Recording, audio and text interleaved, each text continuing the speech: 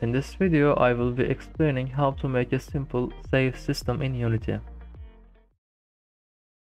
First, uh, we are going to create C-sharp script which will be named save data. After that, we are going to create an another C-sharp script which will be named save system and an another C-sharp script which will be named game manager.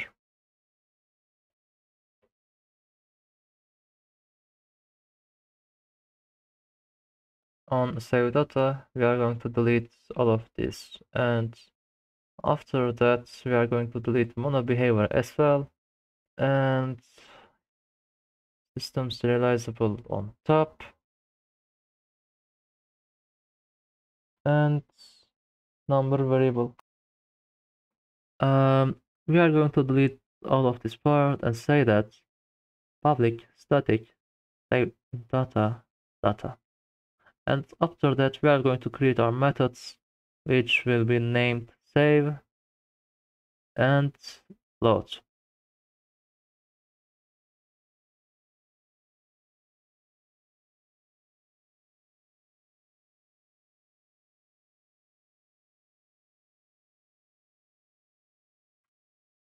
On loading parts we are gonna say that string data string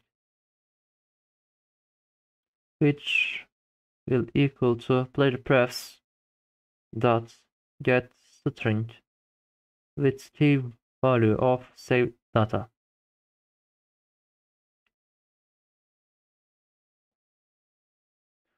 And if length of this data string is equal to zero, we didn't do any saving before, so that's why we are gonna save.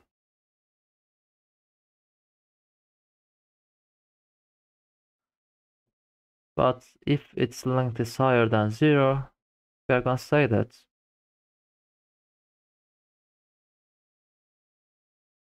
JSON utility dot from JSON, which will be type of saved data, and our JSON string is data string, and this value will be equal to data.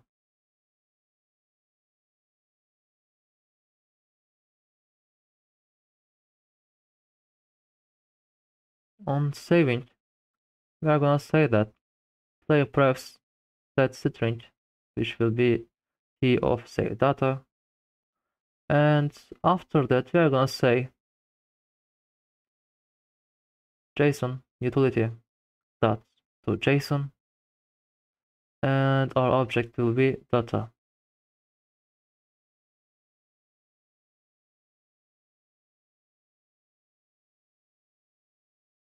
On the game manager, we are gonna include using TMPro on top.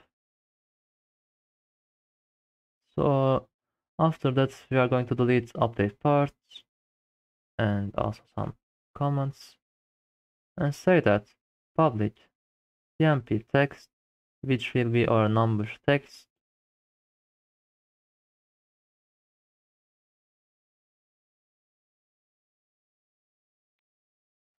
Now we are gonna say that save system dot load. So now we have loaded all our data. After that we are gonna say that number text dot text which will be equal to our save data's number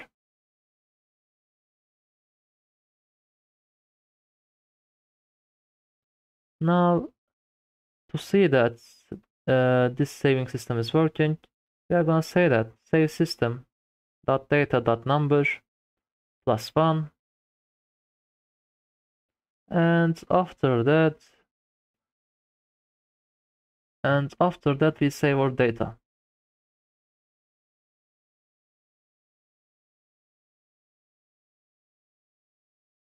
On unity we are gonna create a new text and name it number text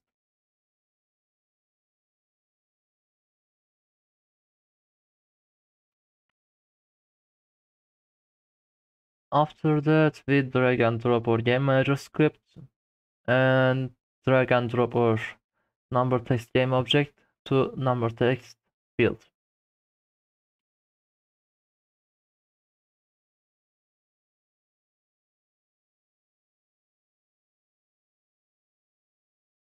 So as you can see, whenever I hit the play button, the number increases.